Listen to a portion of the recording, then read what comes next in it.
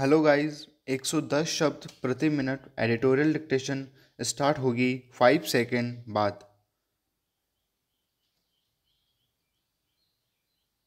Start.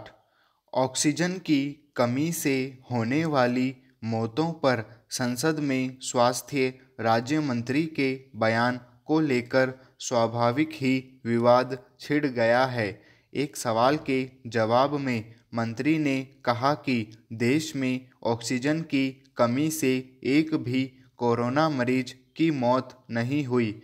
उन्होंने स्पष्ट किया कि स्वास्थ्य राज्यों का विषय है और उनके द्वारा उपलब्ध कराए गए आंकड़ों के आधार पर ही यह तथ्य सामने आया है। अब सरकार और पार्टी के प्रवक्ता मंत्री के बचाव में उतर आए हैं। कागजों पर मौतों की वजह, बेशक ऑक्सीजन की कमी न दर्ज की गई हो, पर इसका मतलब यह नहीं कि कोरोना की दूसरी लहर में यह समस्या पेश ही नहीं आई। उस दौरान देश के अनेक अस्पतालों ने लिखित घोषणाएँ की थी कि उन्हें ज़रूरत भर का ऑक्सीजन उपलब्ध नहीं हो पा रहा है।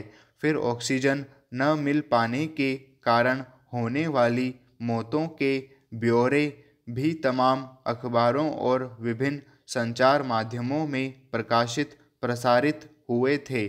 ऑक्सीजन के लिए जगह जगह हलकान होते परिजनों की तस्वीरें और व्यथा कथाएँ टीवी चैनलों पर दिखाई गई थी। उस वक्त बहुत सारे स्वयंसेवी संगठनों और धर्मादा संस्थाओं ने ऑक्सीजन सिलेंडर मुहैया कराने का प्रयास किया था। यहाँ तक कि कई देशों ने ऑक्सीजन भेजकर मदद की थी। खुद केंद्र सरकार ने दूसरे देशों से ऑक्सीजन मंगाया था। स्वास्थ्य राज्य मंत्री ने बेशक नया नया काम संभाला है, पर यह नहीं माना जा सकता कि वे इन तथ्यों से वाकिफ़ नहीं होंगी। आंकड़े हर मामले में सही हो या उन्हें पत्थर की लकीर मान लिया जाए, ज़रूरी नहीं। आंकड़ों के लिहाज से सरकार का पक्ष सही हो सकता है, पर वास्तविकता किसी से छिपी नहीं है। इसलिए मंत्री का इस संबंध में बयान बहुत बेरहम लगता है। आंकड़े जुटाने या फिर सरकारी कार्रवाई के लिए बने कागजात में कुछ तय खाने होते हैं।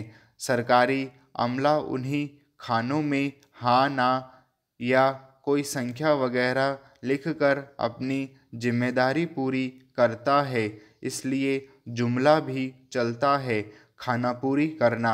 अस्पतालों को इस बीमारी से संबंधित जानकारियाँ उपलब्ध कराने के लिए जो कागज़ बनाए गए चूँकि उनमें मौत के कारण में ऑक्सीजन की कमी का कोई खाना ही नहीं था, इसलिए उन्होंने यह कारण लिखना ज़रूरी नहीं समझा।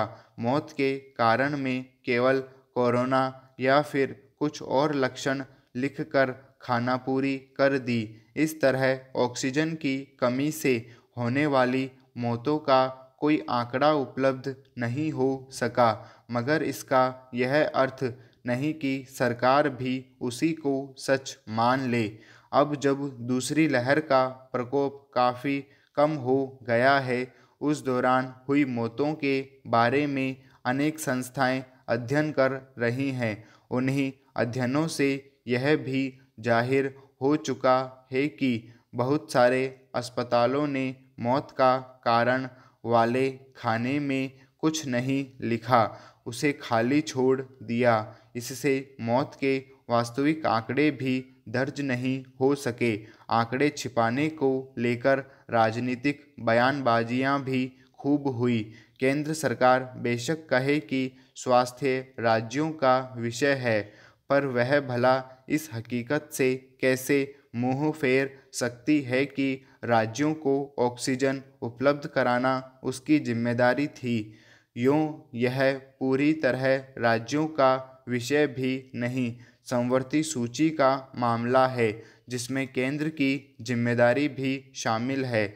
इसलिए कोरोना के इलाज में हुई अनियमितताओं और मौतों के आंकड़े आदि को लेकर वह सिर्फ़ राज्यों के सिर पर ठीकरा नहीं फोड़ सकती। मंत्री को इस विषय में सुचिंतित बयान देना चाहिए था और आंकड़ों को दुरुस्त कराने का आश्वासन भी पैरा। जब भी भारत अपनी सीमा में आतंकवाद की समस्या की जटिलता के लिए पाकिस्तान को कटघरे में खड़ा करता है, तब वह इसे महज आरोपों का खेल बताकर खारिज कर देता है। लेकिन आए दिन इस बात के सबूत मिलते रहते हैं कि आतंकवादियों को शह और संरक्षण देने के मामले में पाकिस्तान ने वैश्विक स्तर पर दी गई चेतावनियों को लगातार नज़रअंदाज किया है। अब पाकिस्तान के सामने मुश्किल यह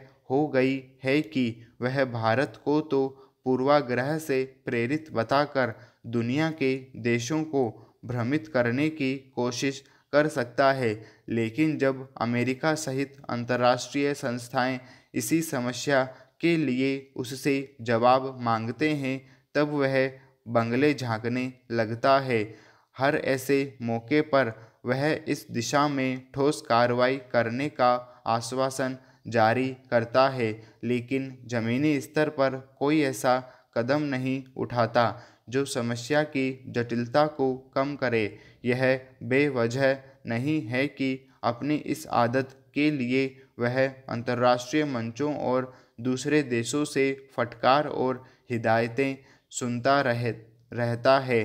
ताज़ा घटनाक्रम में अमेरिका ने साफ़ शब्दों में पाकिस्तान से कहा है कि वह आतंकवाद के वित्त पोषण की जाँच और संयुक्त राष्ट्र की ओर से चिन्हित किए गए आतंकवादी संगठनों के सरगना और कमांडरों के खिलाफ मुकदमा चलाकर वित्तीय कार्रवाई बल यानी एफ़ ए टी एफ़ की सत्ताईस सूत्री कार्य योजना को तेज़ी से पूरा करे।